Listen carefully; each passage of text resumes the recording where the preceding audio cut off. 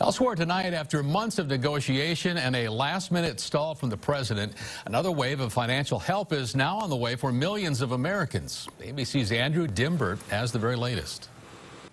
The deal is done. President Trump signing the sweeping COVID-19 relief measure and government spending bill, securing financial aid for millions of Americans and supplemental unemployment benefits for those out of work, while narrowly avoiding a government shutdown. I worry and I care about myself and my family. We need COVID relief so bad. Lawmakers on both sides of the aisle relieved that Trump changed his mind with the stroke of a pen and agreed to the terms negotiated in Congress.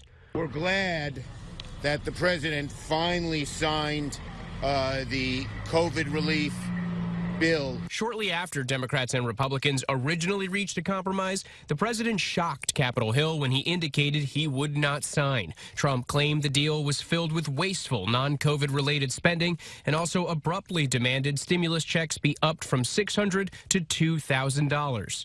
If you want to make a $2,000 checks, negotiate that from the beginning. But the COVID relief package was pretty much an all or nothing proposition. Either Trump signed or Congress would have to start over. And for struggling Americans, there simply wasn't time.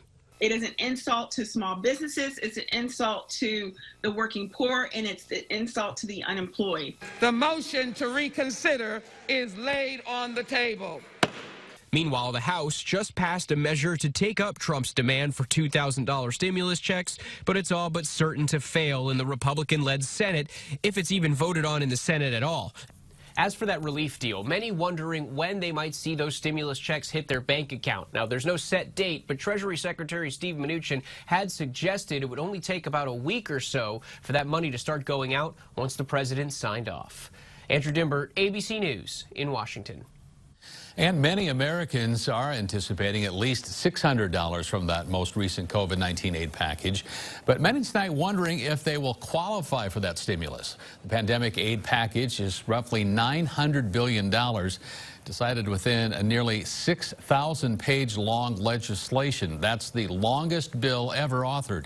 But just because you receive a check in the first round of the stimulus back in the spring of 2020, that certainly doesn't mean that you'll receive a second round. If you filed your 2019 tax return after the stimulus check was uh, was uh, sent to you, the first round, which was based on 2018 for sure, then your 2019 filing will determine whether you get it or not. You may got the first round, but you not get the second round because your 2019 October 15 filing, it was over that threshold. The threshold to qualify has remained the same as it was in the last uh, stimulus bill. Individuals earning $75,000 a year or couples who earn $150,000 a year will qualify for that full amount.